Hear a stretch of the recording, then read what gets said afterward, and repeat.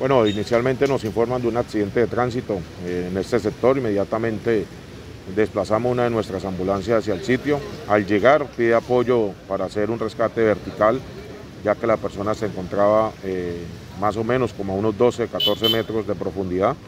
Al llegar se hace el rescate de esta persona, se valora, se atiende, se hace la extracción y es transportado a un centro asistencial de la ciudad. Se transportaba en la motocicleta de placas 954 ADA, el cual transportaba eh, harina. Este es el reporte que nos dan los compañeros de trabajo de este señor. Afortunadamente eh, fue rescatado por parte del personal del Cuerpo de Bomberos Voluntarios y, eh, como se dijo anteriormente, transportado a centro asistencial.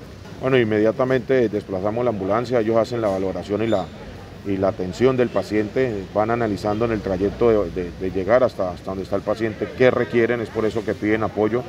Nos desplazamos con nuestra máquina de rescate, eh, que es la que cuenta con todos estos equipos especializados para poder hacer la, extracción de este paciente y afortunadamente eh, se encuentra estable, ya entra la valoración más profunda por la parte médica del centro asistencial que determinará cuál es el tipo de lesión que presenta esta persona. Bueno, indiscutiblemente, eh, sin decir de que este señor iba de pronto en exceso de velocidad, es decir, la invitación a todos los conductores eh, eh, a manejar prudentemente, de manejar a la defensiva, es respetar los límites de velocidad. Aquí vemos de que se sale completamente de la vía, la motocicleta queda en un lugar y él es expulsado más o menos unos 12 o 14 metros.